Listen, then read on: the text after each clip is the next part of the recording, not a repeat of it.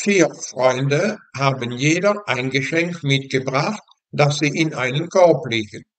Anschließend ziehen sie die Geschenke, um sie zu verteilen. Frage, mit welcher Wahrscheinlichkeit wird keiner der Freunde das Geschenk ziehen, das er selbst mitgebracht hat?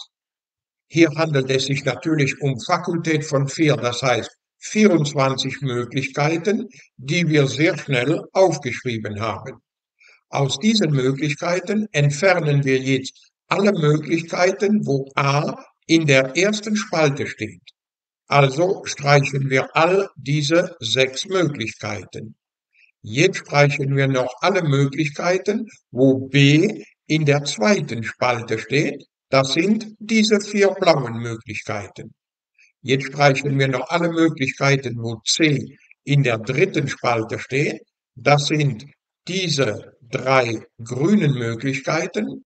Und letztendlich streichen wir noch alle Möglichkeiten, wo D in der vierten Spalte steht. Das sind noch diese zwei Magenta-Möglichkeiten. Die Möglichkeiten, die jetzt noch bleiben, sind die Möglichkeiten, die in Frage kommen. Es sind eine, zwei, drei, vier, fünf, sechs, sieben, acht, neun.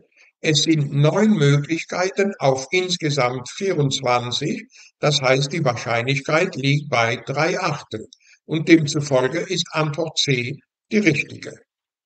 Im nächsten Tutorial werden wir eine weitere Frage der Mathematik-Olympiade beantworten.